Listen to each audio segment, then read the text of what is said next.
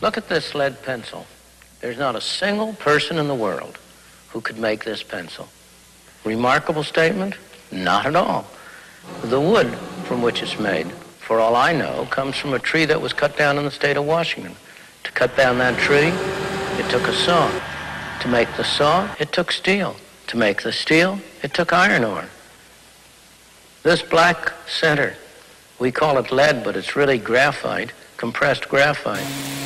I'm not sure where it comes from, but I think it comes from some mines in South America. This red top up here, the eraser, bit of rubber, probably comes from Malaya, where the rubber tree isn't even native. It was imported from South America by some businessmen with the help of the British government.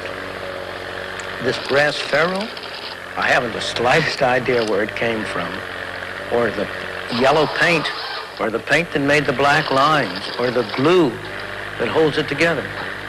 Literally thousands of people cooperated to make this pencil.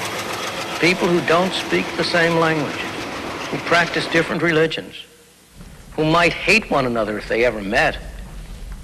When you go down to the store and buy this pencil, you are in effect trading a few minutes of your time for a few seconds of the time of all those thousands of people.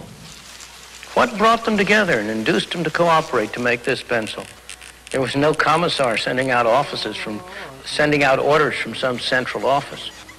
It was a magic of the price system, the impersonal operation of prices that brought them together and got them to cooperate to make this pencil so that you could have it for a trifling sum.